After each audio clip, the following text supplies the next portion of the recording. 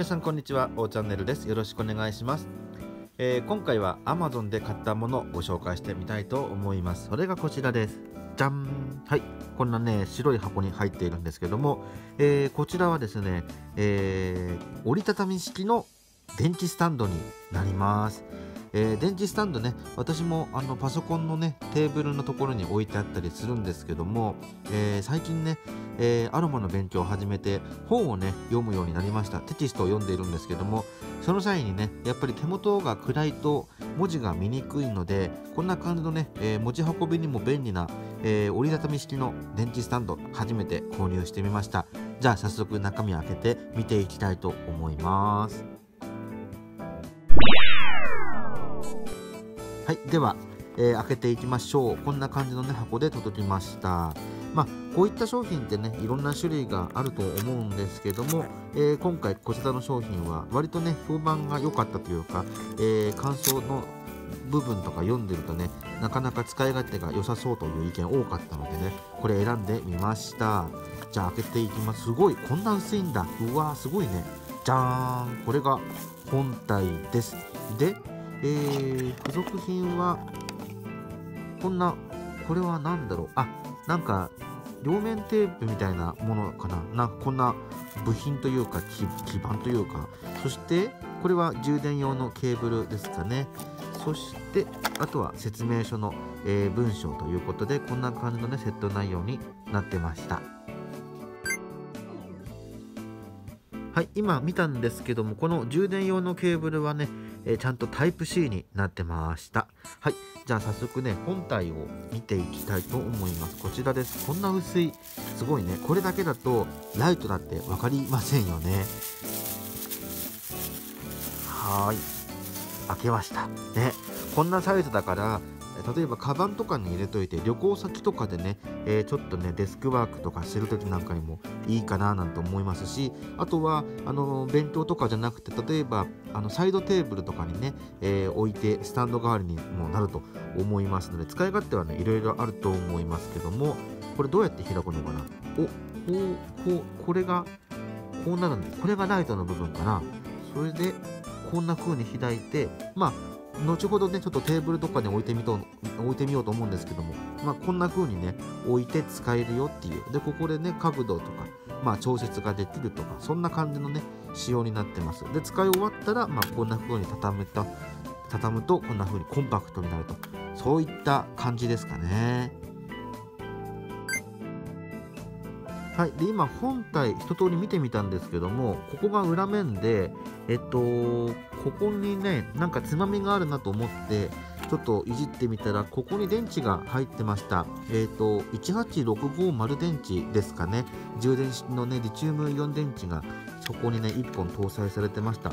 あのー、こういったタイプのライトって中身の電池に、ね、取り出せないと思うんですけどもこれは取り出せるタイプなんですね。でえーと、電源のボタンがこれなんですね。これ物理ボタンがちゃんとついてるんですけどもちょっと今これつかないというか多分電池が充電されてない状態で届いたと思うのでちょっとね付属のケーブル使って充電してから使ってみようと思います。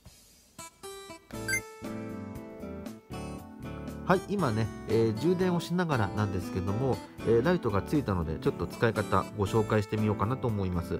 で、えー、USB の Type-C のケーブルは今ここに挿しているんですけども充電のランプがね赤くついてます。で、えボタンがこれ2箇所あるんですね。まずはここ、えこれが物理ボタンで電源のオンオフです。でこの後ろになるんですけどもここにももう1個ボタンがあってこっちはタッチパネルタッチパネルというか、まあ、タッチ式のボタンになってます。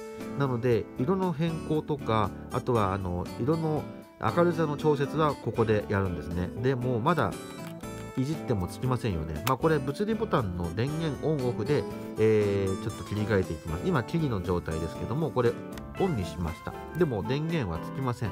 まあこれはオンというか、このタッチパネルのこのボタンが操作ができるかどうかの、まあ、オンオフっていう意味なので、ライトをつける意味のオンオフという意味ではまあ、ないんですね。なのでこれオフの状態ではここパネルいじっても特に何もね、えー、ついたりとかはしないのでまああの誤操作防止のためにはいいかなと思います。じゃあはいオンの状態にしました。でこの後ろのボタンを触るとはいつきました。今白色でね白い LED がここについてます。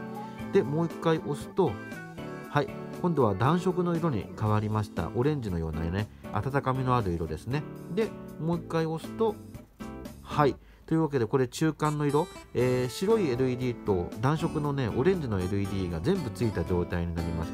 でさっきちょっと見てみたんですけどもここ、えー、全部でね LED が20灯ついていてですね、えー、白い LED とオレンジの LED がそれぞれ10個ずつのね、え配置になってました。なので、まあ、スイッチを切り替えるごとにこ今切りですね。でこれが白だけオレンジだけそして両方オフとこんな風に、ね、なってました。でえっ、と色のこの変更はねこんな風にポンポンポンって押して切り替えるんですけども明るさの調節はこのついている状態で長押しです。長押しをすると、今これが一番暗い状態。でもう一回長押しをするとこんな風に長いあ明るい状態になりますので、まあ、お好みの明るさのところでこう指を離せばねえー、色があの調節できるかなと思います。明るさの調節ができるかなと思います。まあ私はどっちの色でもいいけどこの両方を使った色これが一番好きかななんて思います。なんか勉強する時なんかはこの白い色のねあのはっきりした色で見てでちょっとねあのサイドに置いて間接的に使いたいという時には、えー、このオレンジの色を使ってでまあ私なんかこの両方の、ね、色が混じってる色が一番見やすいんじゃないかななんて思います。じゃあちょっとねテーブルに移動してですね実際にどんな風に見えるか見ていきたいと思います。はい、えー、テーブルの、えー、上に移動してきました。じゃあ、えー、早速ね使ってみましょう。こんな風にしてこんな感じでね、えー、立ててみます。こんな感じです。まあ、今ね部屋の電気つけていますけどもこの状態でおライトつけるとこんな感じの明るさになります。で色を変えて今ねあの白い LED ですけどもオレンジの暖色系にするとこんな感じです。そして両方混ぜた色がこんな感じですね。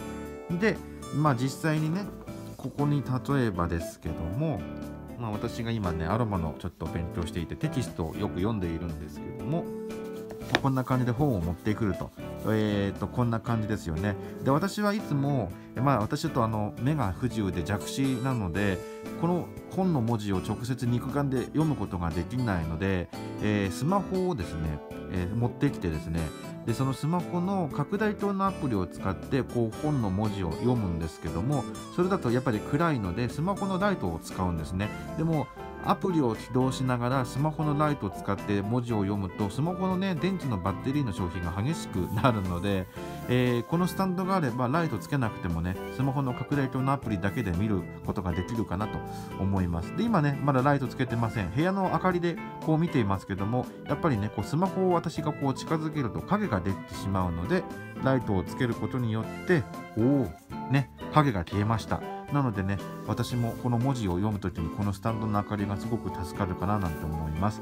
ちなみに今これは白色のね白い LED でつけてますけども暖色にするとこんな感じ。まあちょっと勉強する時にこの暖色はねあまり向かないかなと思います。まあ、両方混ぜた色だったらまだいいかなと思うんですけども、まあ、勉強したり本読む時はこの白い LED がいいかなと思います。ちなみに今ね部屋の電気をこうつけてやってるんですけども部屋のね明かりを消すとこんな感じ。今昼間なのでちょっとね太陽の光も少し入ってはくるんですけども薄暗いですよね。この状態でつけるとこんな感じですね。明るくて見やすいですよ。うん。でえー、オレンジにするとこんな感じ。まあこれはね勉強する時というよりはあの例えばベッドとかね布団の横に置いとくとかあの常夜灯代わりにもなるかななんて思います、えー、そして両方混ぜた色が、まあ、こんな感じ。これはまだいいかなと。私はこの色が好きかな。目に優しい色かななんて思いました。なかなかね見やすくていいんじゃないかななんて思います。はい。というわけではいつけました。勉強頑張りたいと思います。はい。というわけで今回はですね、こちらですね、Amazon で購入しました。えこんな感じのね、折りたたみ式の、えー、電気スタンドを購入してみました。とても軽いので、あの持ち運びにも便利なので、どっかね、出先で使う時にもいいんじゃないかななんて思いますし、結構ね、しっかり明るさはあるのでね、えー、役に立つと思います。はい。というわけで今回はこれで終わりにしたいと思います。最後までご覧いただきありがとうございました。それではバイバーイ。この度 YouTube PR 用の Twitter アカウントを作成しました。日々のつぶやきをしている私の個人アカウントそして猫ちゃん関連の私の姉のアカウントも合わせてよろしくお願いします。